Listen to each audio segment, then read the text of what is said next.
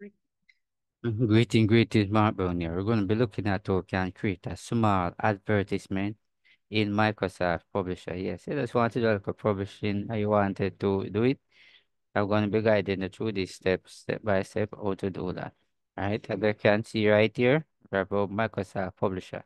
So we're going to focus on advertisement here.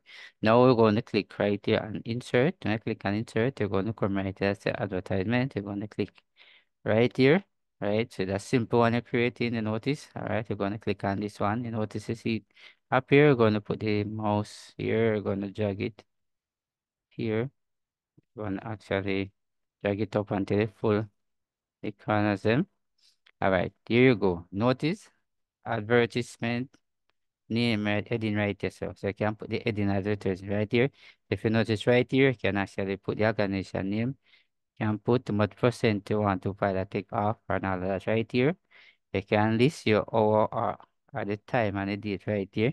if you notice right then you can describe the special offer that you actually want to read right here.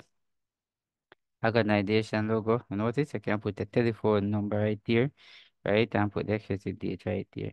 So this is exactly how simple you can actually create a little advertisement right here. Because this is if actually a base template you can actually put in all ah, that it actually create a simple template here for you. Alright. So hope you have learned something from this particular video here. So thanks for watching. See you in the next video.